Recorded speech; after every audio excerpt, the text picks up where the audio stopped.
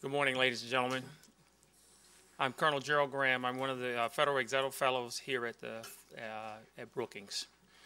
Uh, on behalf of the other Federal Executive Fellows, I'd like to thank Brookings for uh, putting on this event this morning, as well as for those who helped uh, bring this together.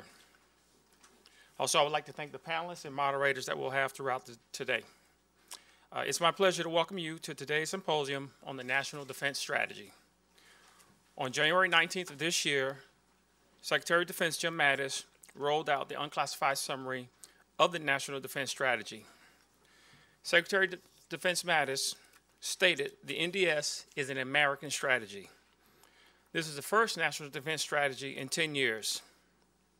The National Defense Strategy is designed to protect America's vital national interests and is inside the framework of the National Security Strategy, which was published in December of 2017. Secretary Mattis stated that America's military reclaims an era of strategic purpose. We will continue to prosecute the campaign against terrorists. But great power competition, not terrorism, is now the primary focus of the U.S. national security. The National Defense Strategy goes on to state that we're facing growing threats from revisionist powers like China and Russia, rogue regimes like North Korea and Iran are destabilizing regions through their pursuit of nuclear weapons and sponsoring terrorism. The drive to develop technologies is relentless, expanding to more actors with lower barriers of entry and moving at accelerating rate speed. America's military has no preordained right to victory on the battlefield. So, with that, the National Defense Strategy has three distinct lines of effort. First, rebuilding military readiness as we build a more lethal joint force. Second, strengthening alliances as we attract new partners. And third, reforming the department's business practices for greater performance and affordability. Hopefully, today, as we go through, we'll be able to talk about some of the immediate consequences of the policy and how it affects other countries around the world. That being said, thank you for coming out and taking time out of your day. And without further ado, I'll turn the stage over to our first moderator, Jung Pak, Senior Fellow, Foreign Policy Center for Asia, East Asia Policy and Studies here at Brookings. Thank you and welcome.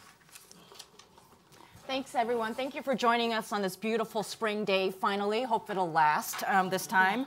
Um, I have the pleasure of moderating this panel today of some of our distinguished speakers. I wanted to give you a quick introduction, um, and then we'll, we'll uh, roll into our discussion, uh, which I will moderate.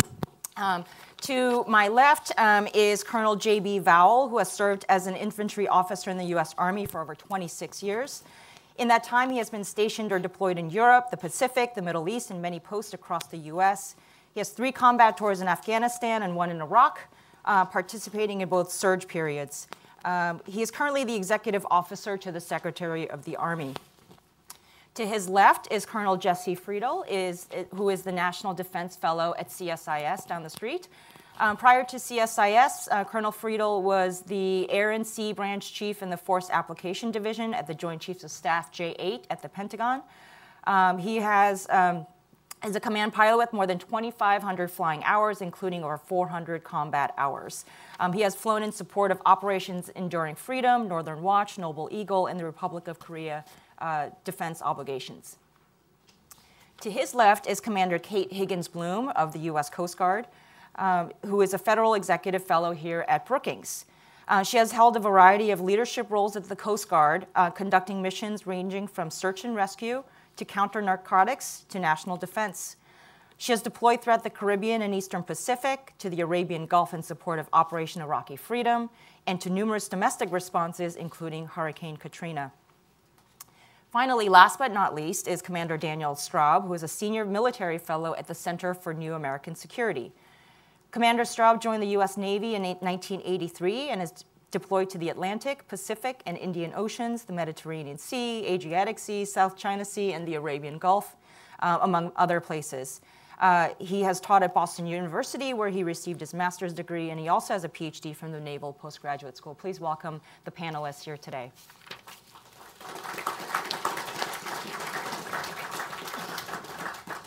So I wanted to, so thanks, Gerald, for um, for that brief synopsis of the National Defense uh, Strategy. Um, and the NDS um, lays out the current challenges to our national security, the role of the military and how to, how to meet those challenges, and lays out what our priorities are for spending. Um, and I'm so pleased to be having this conversation with, with, um, with our panelists here today. Right off the bat, the, the unclassified introduction of the NDS states that our competitive military advantage has been eroding. That's a powerful statement. Um, in addition to uh, what Gerald mentioned about the, how interstate conflict, um, strategic competition, not terrorism, is now our primary concern.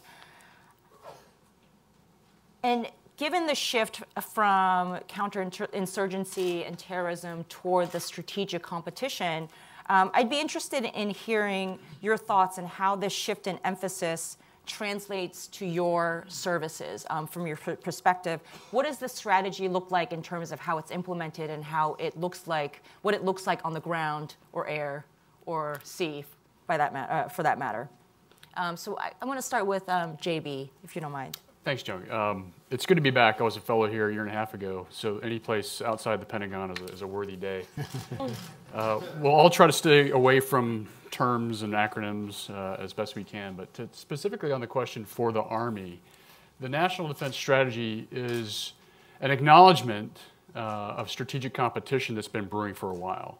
And the Army, as the service that does the, the land power uh, component of the joint force, uh, we've been doing counterinsurgency, counterterrorism, gotten very good at targeting and, and human uh, terrain network operations for about 17, 18 years. In the same time period, uh, some strategic and regional competitors have gotten better. While we were looking very focused as an army to working with the human dimension of conflict, uh, we were asleep at the switch in other dimensions. And that's when the gaps and seams were kind of filled in modernization and capabilities. With both China and Russia, they underwent a very aggressive modernization campaign for their forces. And right now, we talk about, and the National Defense Strategy alludes to this directly, we are behind in some of those capabilities. Long range fires uh, in certain domains um, in land, air, space, maritime, uh, cyber, for example, there are niche capabilities we don't have or in a comparative advantage compared to strategic peers. That's a problem. That's a problem for us. So an analogy could be given in 2018 to 1973, the Arab Israeli War. For the Army, that was a wake up call coming out of Southeast Asia and Vietnam. The use of AT missiles, tank on tank warfare, the different capabilities in that conflict brought about what you see today with the Army's Big Five systems the tanks, the Bradleys, the missiles, the multiple launch rocket systems, the helicopters that we still have today, the legacy systems. But with that came a doctrine and an acknowledgement that the environment had changed to fight the Soviets at the time. Fast forward to 2018, we have somewhat of the similar situation where there are capabilities with Russia and China, specifically in the NDS, uh, that are not peer to us, they, they outpace us. And it's not necessarily that we are behind, we just need to get forward of that. And that's an opportunity for the Army. Uh, and the NDS acknowledges that gap, those seams, and the capabilities that we need to respond to. And so the Secretary of the Army right now, I can tell you, is very focused on updating the readiness, updating modernization, and the reform of the department that will meet and nest with the specific guidance from uh, from uh, Secretary Mattis and the National Defense Strategy. Great. Thank you. Jesse, what do you think from the Air Force perspective? So I look at this as we begin uh, reading the NDS, the unclassified version. The first line talks about how we need combat credible forces so that we can deter and then protect our nation.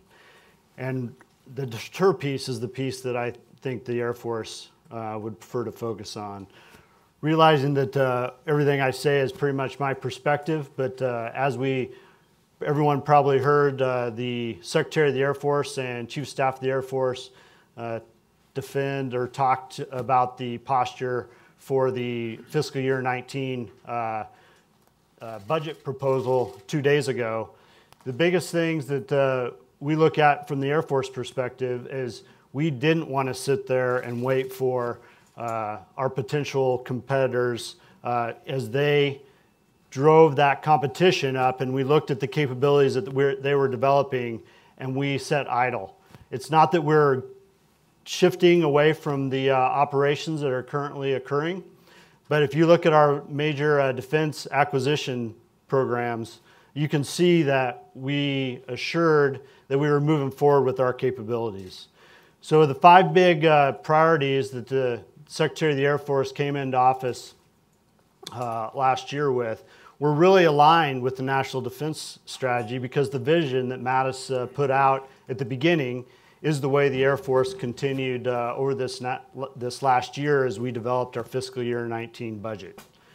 The big things, uh, as we're talking about trying to uh, assure that we have that readiness uh, that we need, uh, that we are uh, effectively getting a, um, a adequate modernization of our forces, that we are driving the innovation to assure that uh, we are thinking outside the container uh, and able to uh, utilize industry, utilize academia in order to get the best bang for the buck uh, for every dollar that uh, we have available to spend on our capabilities.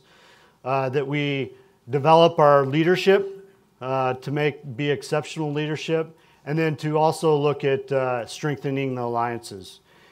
And as we continue through our major defense acquisition programs, the big things that come screaming out as we talk about uh, the competition of uh, equipment and capabilities. Uh, we're talking about the B 21, the F 35, uh, that we can't wait until we already have a gap to try to eliminate or minimize that gap. So the Air Force has been forward looking so that as gaps come up, we already have those capabilities because we predicted what those gaps might be in the future. Thank you. Uh, thank you so much for having me, and thank you to everybody for making time to come to Brookings this morning. We appreciate having you. Uh, from the Coast Guard perspective, the NDS and the NSS really reflect what a lot of us had been seeing out on the water, which was rising competition, particularly in the Pacific. And to have that really enshrined in a strategic document is incredibly helpful for us as we look at how we can recapitalize our fleet to be the most competitive uh, Coast Guard that you could possibly have. Um, in particular, the emphasis on lethality in the NDS is something that I think um, the Coast Guard had started to move away from um, over the past few decades as we focused on DHS and our mission. So this is a real opportunity to look at our assets as we build them, uh, to make sure we're building something that's truly interoperable and capable of meeting the needs of one of our statutory missions, which is to operate as part of the Department of Defense as an armed service. Um, and this ranges not only from recapping our current cutters, the white-hulled ships that you see uh, in our recruiting material, but also icebreakers. Uh, they take a long time to design and a long time to build. And the emphasis on innovation and looking over the horizon is something that we take uh, to heart. Um, the one component that we are going to find the most challenging really is capacity. While being an armed service is part of our identity and we are at all times military, we also have 11 statutory missions that include a lot of things that are outside the, the purview of the Department of Defense. Uh, a perfect example is last week, Admiral Schultz, our nominee for Commandant, had his confirmation hearing. And the junior senator from Alaska very rightly questioned him about our deployments of cutters to the South China Sea in support of PACOM um, and how that's going to impact our ability to protect the multi billion dollar fisheries in Alaska, conduct counter narcotics and immigration enforcement on the southern border, and foster a lot of the partnerships we have that are keeping the Western Hemisphere safe and secure and really allowing us to focus as a country on some of these other threats in the Pacific and in the CENTCOM AOR and um, in Europe. Um, but again, it all comes back to capacity. Uh, we have a very limited capacity to, to meet these missions. So our biggest question is how much of the NDS are we going to be able to support um, relative to our, our role in DHS? Thank you. Good morning. uh, I appreciate the opportunity to be here. Uh, one thing I noticed back in 2007, I was on USS Shoup, a guided missile destroyer. We were down in San Diego, and we were the host ship uh, for the Chinese warships that were coming in. Now, the one thing that I noticed when those Chinese warships came into San Diego was that they had an inordinate amount of uh, observation equipment, cameras, microphones, and, and numerous other devices that I didn't even know what they were up on the masts of those ships as they came in.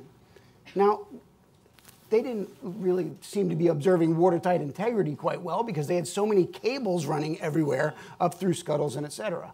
But what this was to me was this is an indicator that they were starting to embark on something that we weren't, we weren't working on. And that is sort of new systems on maybe older ships. What we were doing in the Navy at the time was continuing to maintain those old systems, which were very capable, but they were also old. And so what I saw was is I saw us using these old systems and continuing to use these old systems. And what I think the, the NDS is going to do is refocus on not only revitalizing those old systems, but also moving us into the direction where we can get new systems. A lot of money uh, is being allocated toward research and development. A lot of money is being allocated toward uh, investment in these new systems. And I think by the same token, we need to also invest in using those ships that we have, uh, not only for the missions they were originally intended, uh, but also figuring out new ways to use them. So, what am I talking about? Well, I had command of a, a frigate, a guided missile frigate, USS Ingraham. Uh, mostly old, old systems, older ship, and the moment that it lost its missile, uh, its missile capability, its anti-ship missile, excuse me, its uh, surface-to-air missile capability, it was no longer a carrier strike group asset. That ship was now relegated to do counter-drug missions, uh, uh, help out uh, all over the world in different HADR. maybe it was doing counter-piracy, but it was independent steaming for the most part, or working with the Coast Guard, those sorts of missions. It no longer was a carrier strike group asset. So we moved into, uh, I think, getting rid of all the frigates in 2015. I then had the opportunity to command a LCS, a littoral combat ship. And the problem there was most of the, well, let's just say, let's just say it. The three mission modules that were supposed to support that ship, the anti-submarine warfare mission module, the counter mine, uh, mine countermeasures war, uh, mission module, and finally the anti-submarine, uh, excuse me, the anti-surface warfare mission module, were not ready for prime time by the time those ships were being commissioned. It took 10 years uh, before the first mission module was really sort of starting to up and get up and running. I don't think we need to do that either. We don't need to get so in, ahead of ourselves on the tech that the ships aren't ready to, to go out there. So I think we're moving in the right direction with the FFGX, and the FFGX is going to, to do what it needs to do. And that is aligned with the money that the Navy is uh, getting and with, which is in the budget for us to build the ships we need. We're moving toward the 355 ship Navy. By next year, we are looking at 299 ships, uh, 10 new ships and submarines. Uh, additionally, an, an, additional 120 uh, aviation, rotary and fixed wing, as well as uh, unmanned aviation systems. we're really getting to where we need to be. But back to what I said about our older ships. We still need to modernize those ships, and I think we're doing that with the cruisers. But to move into this LCS thing, which has gotten a lot of uh, gotten a lot of uh, negative press, let's say, and, and negative uh, uh, uh talk, uh, I've heard a lot of it as a former LCS CO. I would argue that we can use these LCSs for more than just those three mission areas. I would argue that we need to start looking at the LCSs as maybe they're going to be drone uh, transport platforms, unmanned systems transport platforms. Maybe they can act as, uh, a, in a sense, buses or trucks to carry these things, be supported by the uh, what are called the expeditionary, expeditionary fast transports. We can use these LCSs in other littorals like the Balkans. What I'm getting at here is, is uh, a lot of focus has been made on the fact that they are uh, undergunned uh, and they, they're under armored. Well, maybe let's use the advantages that they do have for those missions that we're currently filling with uh, very highly capable destroyers, uh, cruisers, etc. Um, the LCSs can do the freedom of navigation operations, those different missions. Um, as far as LCS, uh, excuse me, as far as the NDS goes, I believe from the Navy perspective, I mean, it is exactly what we need right now. It's looking at capability increases, capacity increases, and then it's answering everything that the CNO wants, which is the bigger fleet, better fleet, uh, networked fleet. And that's an area we need to put a lot of work, I believe, that interoperability piece. And finally, agility, sort of the dynamic employment of those forces, not being everywhere at all times, but being where we need to be when we need to be there. And how we're going to do that is through, I think, those integra- the integration of those sensors and through much better uh, coordination uh, in, our joint, in our joint forces. Thank you. Uh, um, you know, national security documents generally are not happy reads, um, but I did really enjoy this one line, which is um, more than any other nation, America can expand the competitive space, seizing the initiative to challenge our competitors where we possess advantages and they lack strength. From your perspective, what do you see are our competitors' advantages or disadvantages? And what are the ways that we can, or your services can expand our competitive space? So um, let, why don't we start with Kate? Do you want, do you want to start, jump, okay. start us off? Great. Um, so as far as our competitive advantages as a service for the Coast Guard, uh, this sort of transcends the NDS, but it certainly serves that. Uh, first and foremost is our, our people um, and really their flexibility to operate up and down the full spectrum, not just of conflict, but of competition. So, uh, because of our unique authorities to conduct law enforcement and the role we play regulating maritime commerce, not just here, but as part of an international community, uh, we're able to engage in a competitive space and then move quickly into a national defense mission. And that's almost custom built for some of the gray zone issues that we've seen emerging in the Pacific. Um, and that's something that you cannot buy overnight or off the shelf. So it's, it's innate, and we really don't see it um, in any of our strategic competitors. That culture of independence and flexibility and an ability to uh, deal with complexity and adapt to a new mission that might change. Whether it's, uh, you know, you go out on what you believe to be a search and rescue case uh, that turns out to be um, human trafficking or even something more nefarious. So that would be first and foremost. Uh, as an extension of that is it has built a reputation that uh, is global as the premier maritime service and gives us the opportunity to partner and really build capacity um, across the world. We have uh, Coast Guard personnel currently in Vietnam, working in the Africa Partner Station, uh, building capacity where we need it so that these regions can essentially become safe neighborhoods uh, perhaps a little more resistant to the revisionist activities of China in particular. Um, so those are really our strengths um, that I would say serve the NDS. Dan, can I sure move to you? I think I think we need to uh, for the competition piece. I mean, ret- this return to great power competition is is uh, one of the essential elements of this document. Uh, how are we going to do that? Well, we need to invest, I believe, we need to invest heavily in AI. We need to invest heavily in these unmanned systems, uh, cyber, space domain. We need to work on the things that our great power competitors are working on. And that doesn't mean that we need to, to uh, match them uh, uh thing for thing. Uh, it doesn't mean that we need to copy their technologies. In my opinion, what we need to do is, is we need to be innovative, find what their weaknesses are, identify theirs, and build on our strengths. Um, and, and so, how are we going to do that? And again, it's going to have to be through investment. It's going to have to be through uh, working very closely with, uh, with uh, corporations and those uh, cutting edge companies that are working on, on, these cutting edge technologies.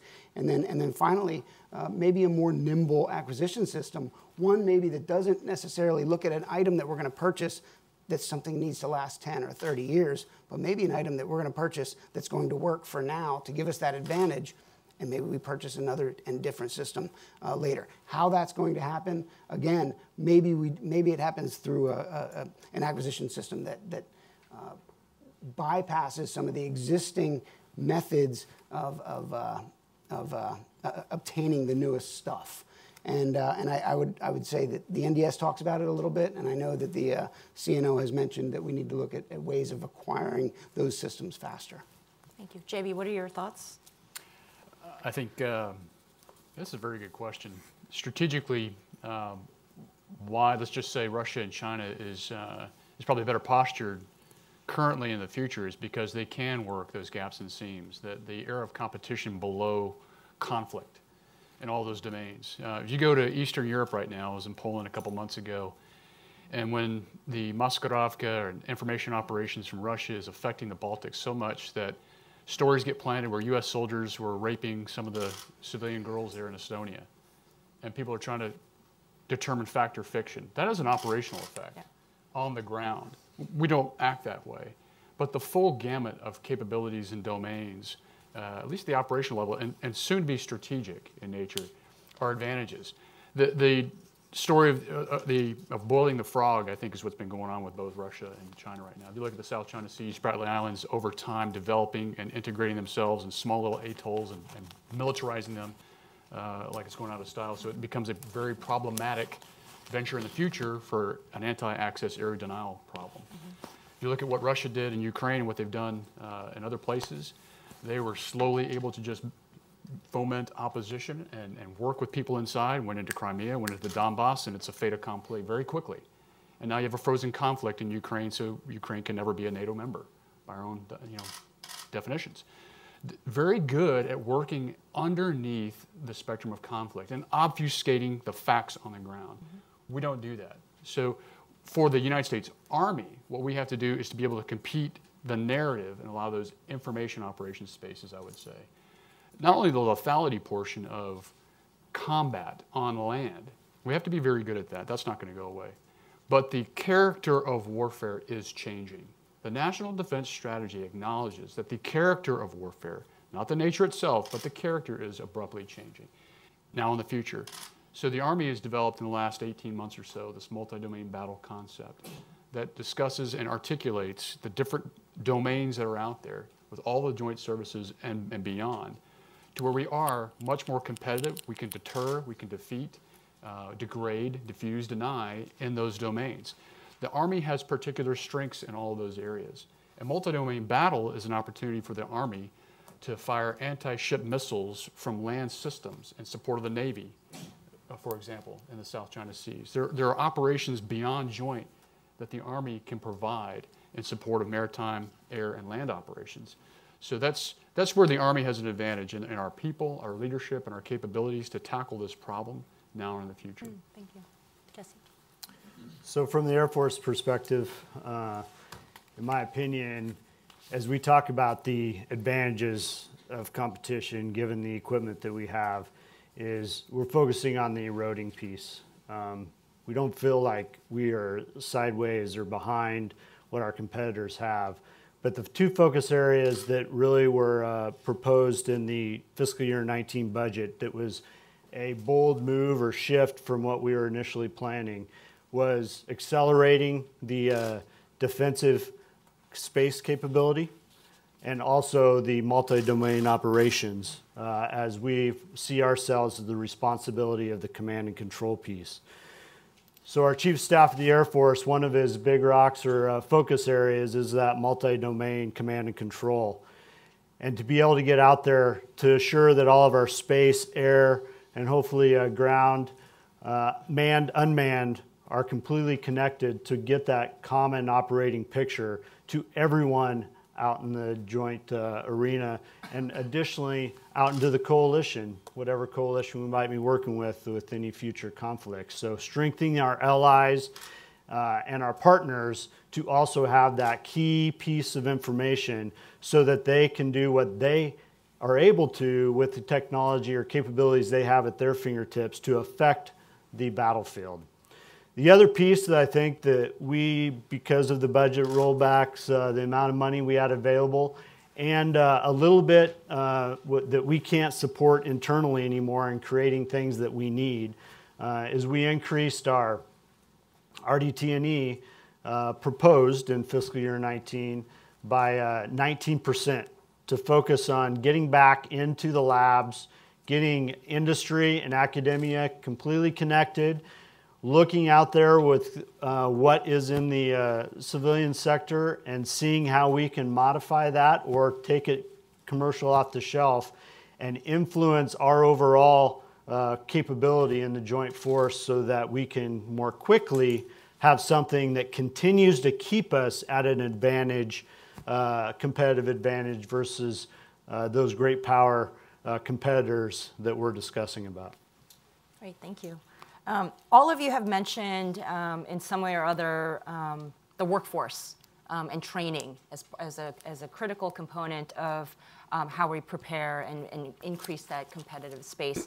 Um, Dan, I know you've written about this. Do you, would you like to talk about how you know, the NDS's focus on agility, education and training, and talent management, and, and how we can improve in that, in that space? Uh, I'll, be, I'll be brief so everyone gets a chance to, to talk. But um, um, when I joined in 1983, the, uh, the, the slogan for the Navy was uh, it's not just a job, it's an adventure. Well, I'll say that the talent piece has become more and more difficult. Guys like me got out of high school, joined the Navy, uh, and, and it, was, it was a fairly easy process. I needed a high school diploma, but not everyone did. Uh, there were guys uh, in the, in, on my first ship that had said that they had, uh, it was either jail or the military for them. And so that was then. This is now. The, at least from my perspective, the sailors we're bringing into the Navy now are highly educated, highly capable, very easily trained uh, uh, sailors. But that competition is very fierce. Uh, the, the just the thought of the adventure piece is not necessarily enough. Uh, they need to know that they're going to have a mission, a job, a role, and they're going to be counted on. And so we have to, I think we have to fight for that talent. Now, I know that the Navy is putting, uh, and I got the number here, an additional $1.5 billion into uh, personnel. And we are looking to gain 7,500 more uh, Navy people. Right now, we have a, a force of about 328,000 and uh, we're looking to move to 335,000 uh, next year. That's a big increase. But again, uh, I think I heard recently only 26% of the uh, eligible uh, uh, people in America, or, or people in America, are eligible to join the military. That 26% is also going to be looking to go to colleges and universities and into the workforce. They're not necessarily jumping to join, the, join the military. So we have a big job there uh, and, and, working on that piece. But I will say, uh, I, I, have to reinforce the, the sailors that are in the Navy today are the best that I've seen. I've been in for 34 years and I've been at all the level, all levels, and they are the best sailors that I've seen. They're smart, they're capable, they're able to do the jobs, but we have to keep getting those sailors so that they can not only learn these new systems, but also learn how to repair uh, and work on our older systems and then lead and manage uh, in the Navy. Others want to jump in with anything? Absolutely. Uh, this last year was actually uh, a focus area of mine on optimize air crew retention. So I wrote a research paper on it, did uh, some crowdsourcing uh, pulses throughout our Air Force on our air crew. Uh, everyone's probably aware that we have a, a pilot crisis. Uh, we are down about 2,000 pilots, which is about 10% of our overall uh, pilot force. And uh, what uh, Dan alluded to is part of that challenge of being able to keep our talent. But additionally, as you roll that back, from my view, is there's a couple root causes that got us to where we're at right now. And the one root cause uh, is that we got too small. And we're asking our, from my perspective, uh, airmen or our overall troops to do more than we've ever asked them to do. Uh, for the air crew's perspective, uh, given a lot of the feedback from our air crew, is they're doing two jobs, and each job is a full time job. And in fact, it's kind of been a little bit of a twist, uh, perception that their job at their desk doing additional duties has become their primary job and they just the nation expects them to go do their air job where that is the biggest risk for them as they go into combat and they want to be more proficient at that. And most air crew enter the air force becoming air crew and they want to be air crew. They don't want to be out there doing the additional duties. So there's a lot of effort within the air force to uh, try to right size that First one, obviously, being in strength, increasing that in strength so that we get more support personnel, we get more maintainers, uh, and then we get a, a few more uh, in the officer corps uh, pilots so that we have some more retention numbers to be able to uh, battle against. Uh, the second uh, thing that is the root cause, in my opinion, is our ops tempo. We've asked uh, our airmen to be gone away from their families, uh, not just every once in a while, but continually, uh, year after year. And you can only ask your troops to do so much to be away from their family. Uh, there are opportunities in the uh, workforce that are willing to take these critical skill sets that uh, especially the, the immediate pilots get, but all air crew. And I'm not even focusing on aircrew because all of these lessons or recommendations can fold into our cyber force, our intel force, all the way down because uh, the training that we get in the service uh, is very marketable out there in the civilian sector, up to the point of uh, cliche in the realms of we're the training force for the civilian sector. Uh, our airlines are taking our pilots, uh, and they're all the way down to taking uh, uh, helicopter pilots who have no uh, jet time and training them to have jet time because we're so low, not just even across the nation, across the world.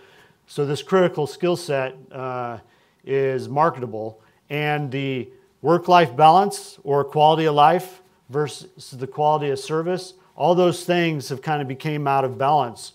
Uh, that it's tough to, to go home to mom and say, I'm going to be gone another six months uh, when they've served their nation uh, and uh, just don't want to go through that battle rhythm through the rest of their life. Uh, they've served honorably, so there is no uh, challenge to them to try to stay more, but we need to make sure that we build an environment that is able to retain them a longer period of time. So we have over 60 initiatives out there to uh, increase our uh, quality of life, work life balance, and quality of service, all the way from uh, trying to manage our choices or options that the millennials want to have so that they feel like they're in more control uh, of what they want to do, to looking at having a technical force uh, and not everyone having to uh, go up the pyramid, going to schools, going to staffs, but actually being technical in an aviation job through the rest or their whole career. Uh, that's being looked at. Uh, all the way uh, down to looking at where we have our bases and assuring that we have opportunities for our families, that we're not putting our kids uh, in school systems that uh, are at the lower end of our nation's school systems. That we have opportunities for our spouses so that they can be employed crossing the borders from state to state because uh, they have a vote when we decide that we want to stay in. Uh, we, we also have some value in the fact that the purpose, the reason why we initially came in is the purpose to help uh, our nation and defending our nation, and we take pride in that but we're we're not willing to lose our families over that. So uh, we're trying to right size that, uh, working with Congress and academia and industry to assure that we have those opportunities to make it easier for our families to transition as we move so often. And we're taking a look at do we need to be moving so often too, uh, so that we have a more of a stability uh, for our families and we have uh, options or choices uh, that our, that our uh, troops have readily available so that they feel like they have more control. Right. Do you have any comments? Just a quick update. Um, uh, for the Army's perspective, if you ask the Secretary of the Army, this is one of the most important parts about the National Defense Strategy talent management. That's a great buzzword. What he's talking about is how do I take each one of us, look at our knowledge, skills, abilities, and behaviors like an HR professional would, and look at the broadening experience, broadening assignments, and put him or her in the right job at the right time at the right place. That's a hard, hard science. It always has been. We're trying to transition from that industrial age production of mass quality and quantity of officers and senior enlisted into a qualitative environment where we really look at the individual. And everything that my colleague just mentioned about the family and the other focus factors are all part of that discussion to include input from the soldier, the officer. Mm-hmm. Um, that, that is going to be part and parcel to, to the, the future battlefield where it's going to be up close, personal, brutal, lethally rapid and fast. We have to put the best people in all parts of combat arms, sustainment functions, whatever, to be able to think and act faster than the enemy. That's going to require a different approach to managing our people, the, the key element to what the, uh, the Army provides. Thank you. Um, if I could just, I mean, if I say our strength is our people, I have to say something. but I just strongly associate myself with everything uh, that the rest of the panel has said. But you know, the rubber's really going to hit the road soon with the blended retirement system. We're going to start to see folks who, at the 10-year mark, may have considered staying in, who now have the option of leaving with a retirement account. Um, personally, I think it's it's a phenomenal upgrade, and it's actually the right thing to do by our folks. But it is really going to put the onus on us to create services that people want to stay in. And part of that is going to be programs like this. We're all fellows here. Our services have invested in us um, to really build the technical skills of our folks, not just in cyber, but in engineering. Um, the Coast Guard has a big regulatory role. Um, and so things like energy science, ship design, um, where industry is in sometimes generations ahead of us, uh, we need a way to continue to upgrade their skills because um, training money is often the first thing to go. Uh, so really looking at that as part of our strategic advantage uh, and our workforce development. Thank you. I have many more questions, but I wanted to give the audience a chance to um, ask your questions. Um, so we'll take two questions at a time, and then um, we'll throw those at the panel. So raise your hand, and um, I would ask you to introduce yourself um, and keep your questions very brief. We answered everything. we have a question up here. 45 minutes.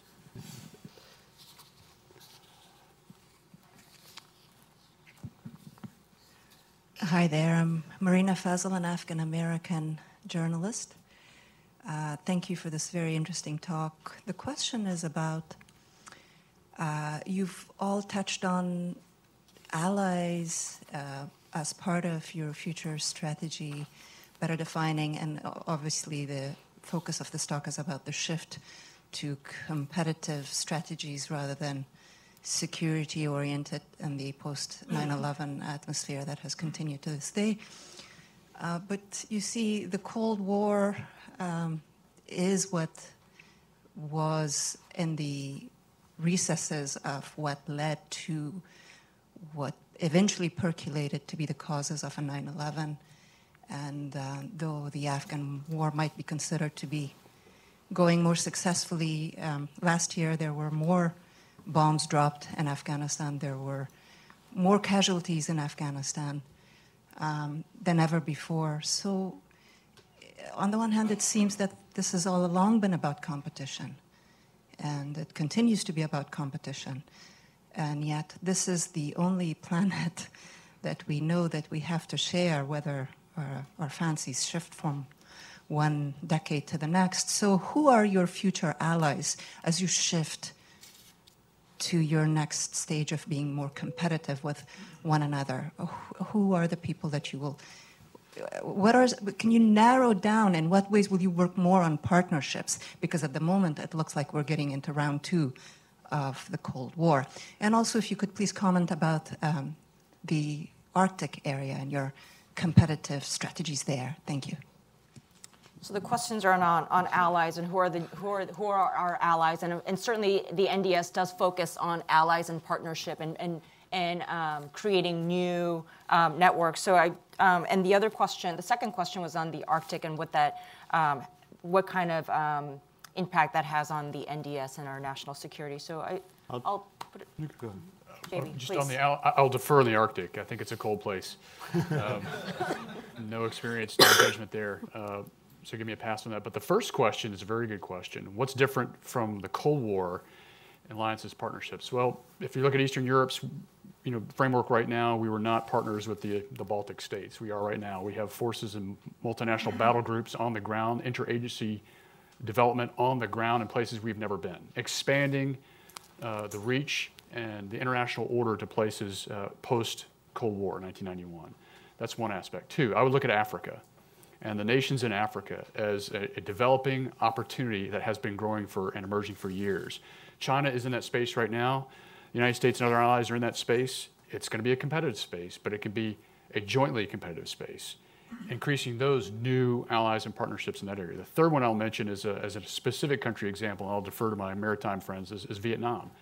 My father spent two years fighting in that country, in Laos and Cambodia as well. Um, we are now an effective partner with that nation in many ways. We're talking about multi basing opportunities in that region. Who would have thought of that 30, 40 years ago? So those are new and emerging opportunities for increasing capacity and alliances and partnerships. The United States will never go it alone to help support the international order from Bretton Woods into today. The United States will continue to need allies and partners in new and creative ways. Great, thank you. So I will also say I'll shift the Arctic because uh, all I know is it's uh, very cold, and we were taking a look at it definitely within the Air Force too, but uh, that is in the uh, initial stages.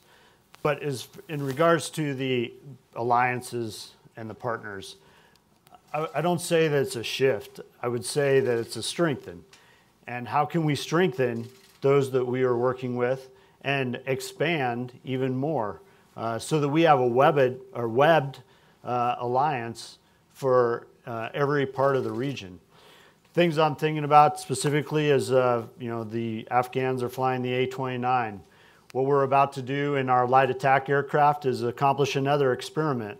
And in that experiment, uh, we're not only looking at what we need so that we can have a lower cost capability to do close air support, but to bring it into a price point where we can have allies and partners involved being able to afford those kind of aircraft versus our fifth gen aircraft or special or our stealth aircraft and being able to help our overall uh, um, efforts in trying to get violent extremism uh, controlled.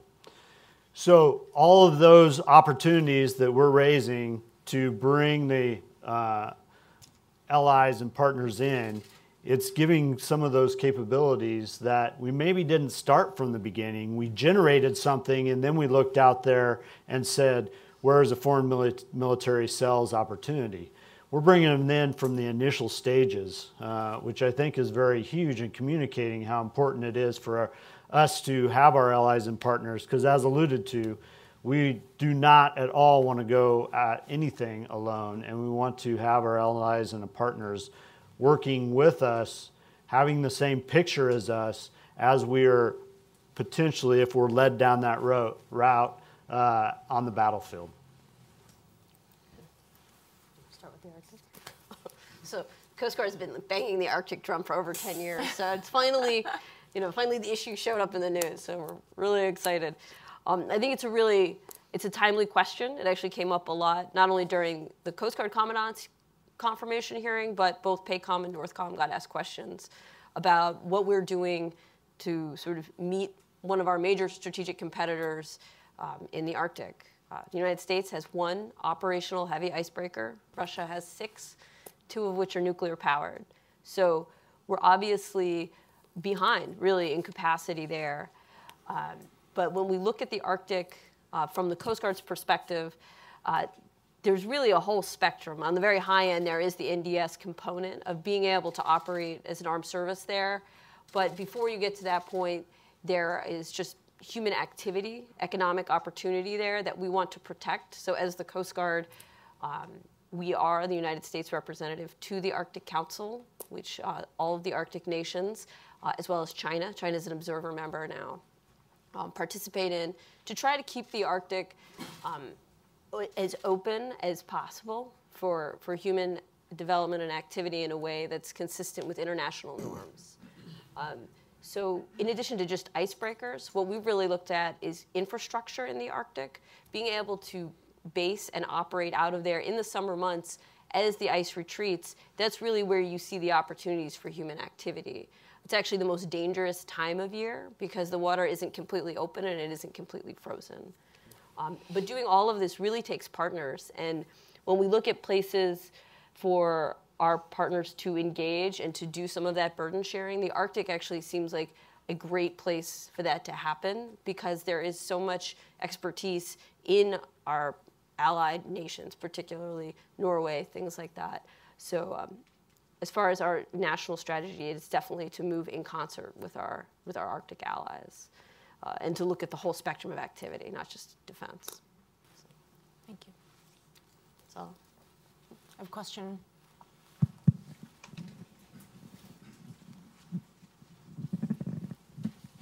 Uh, Hi, my name is Dimitri. Thank you very much. I'm wondering if you could talk about the uh, fiscal aspects of this. Of uh, uh, I know uh, defense is extremely important, but we're running huge budget deficits, and financial can be a national security threat as well. So I'm wondering how much, uh, what is being done within DoD to make sure the money is used efficiently, and uh, burden sharing. Maybe we can pass off some of our responsibility and share them with other people. Thank you.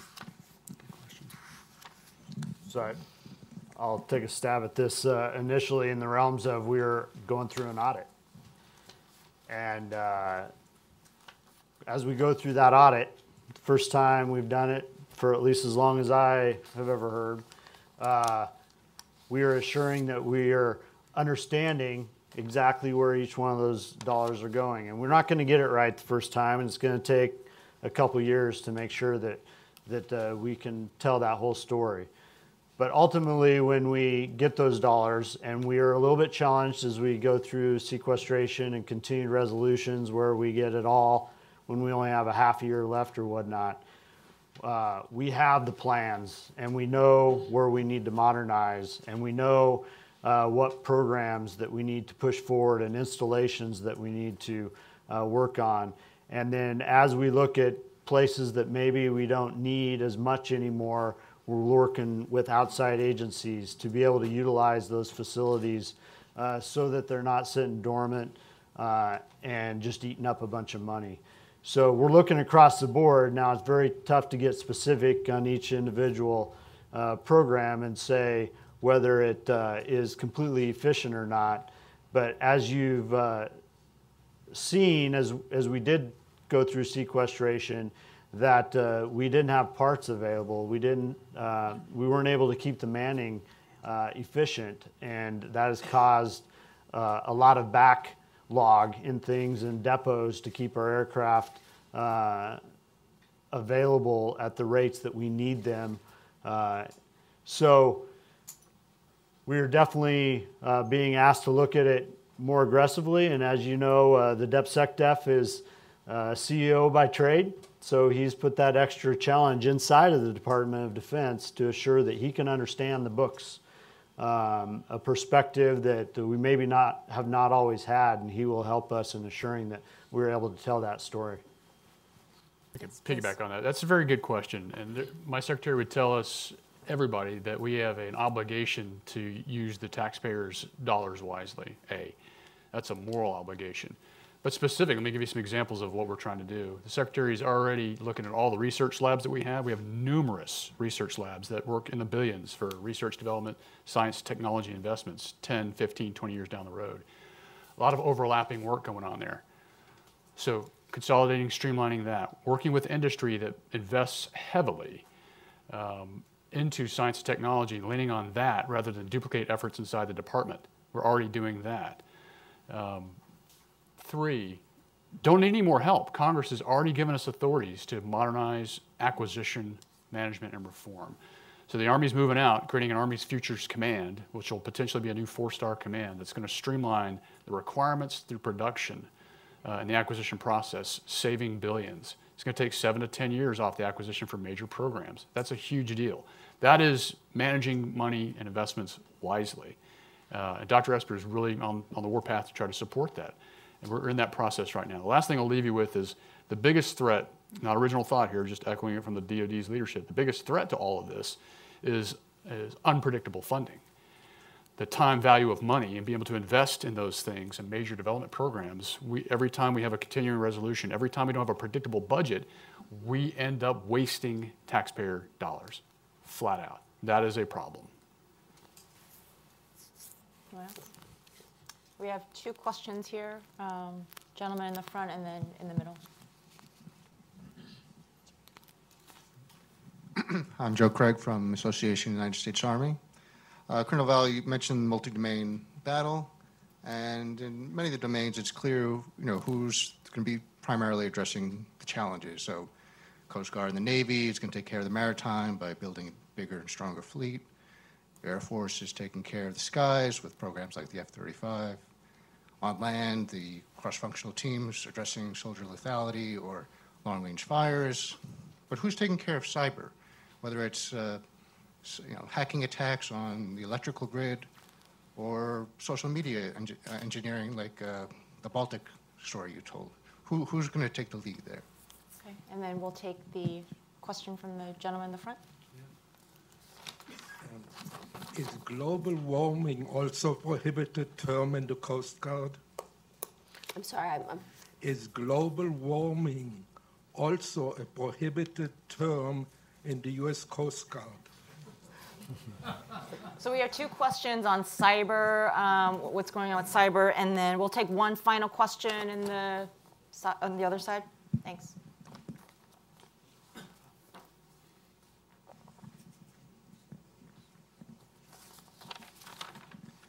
Let's say, for example, that when Brookings did or is doing its budget scrub this year, that it discovers an extra billion dollars.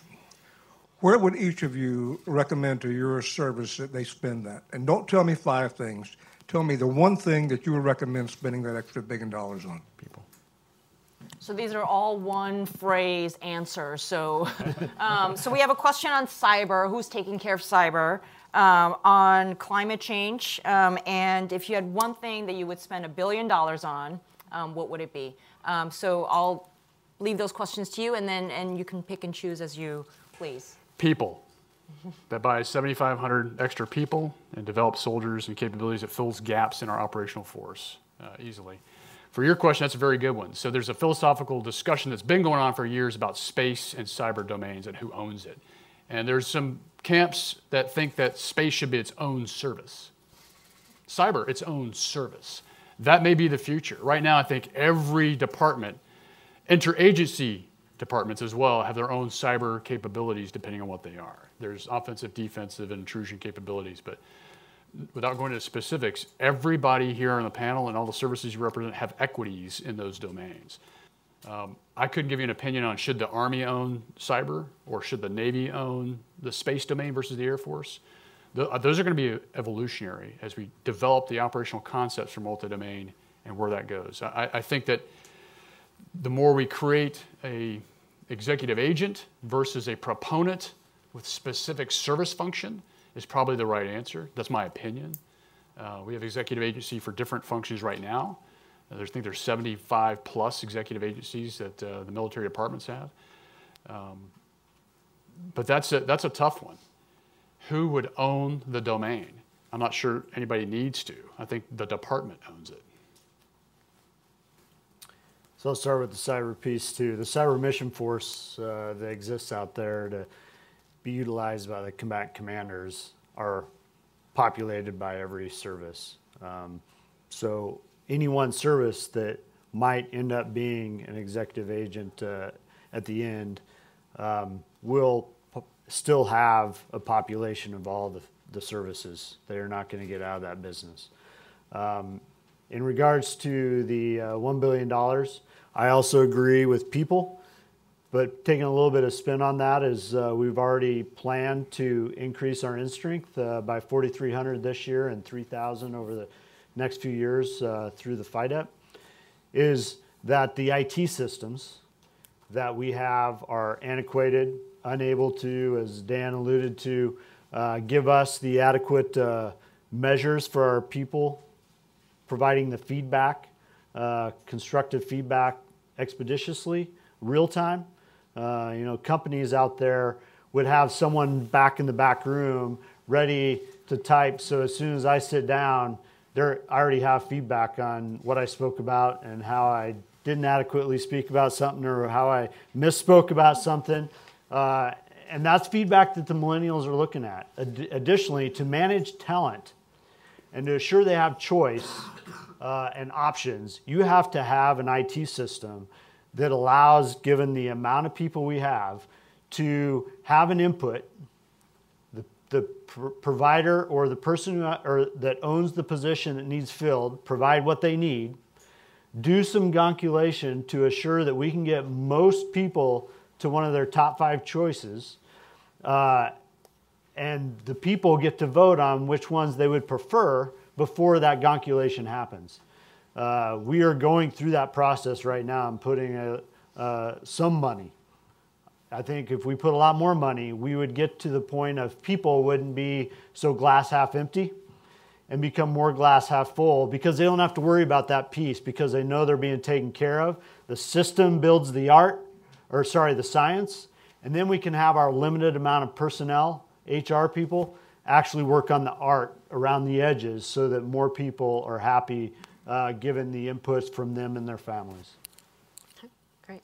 So for the, the cyber piece, you know, you've kind of tapped into one of the big questions, which is what is the line between homeland security and defense? You know, ensuring the safety of the power grid, which is largely privately owned, um, falls largely under homeland security, and that's a, an interagency public-private partnership that continues to evolve. Uh, so it's you know in football it's always offense or defense. Cyber is more like soccer. All the players are on the field at the same time. Um, and so there is really no single department or agency that owns all of cyber, at least right now. Uh, but we do all have a big part of that. As far as a billion dollars for the Coast Guard, you know, we have a $10 billion budget. So that would be a pretty big deal. um, I think fundamentally we all want to invest in our people, but um, the IT and C4 IT, really command and control for the Coast Guard, is something that we could definitely spend a billion dollars on to ensure our interoperability with our DoD partners, and also just to better support our mission and to, to empower our already too small workforce to get all the things done that we're asking them to do. And to answer your question, I think uh, unmanned systems, AI, and autonomy. That's where that billion dollars should go. And to those other questions, I think they've amply answered them, and we're out of time. Thank you so much. Thank you to our panelists um, for your for the stimulating discussion, and for you, the audience, for engaging um, with us um, today. So thank you. Thanks for watching. Be sure to like and subscribe for more videos from Brookings.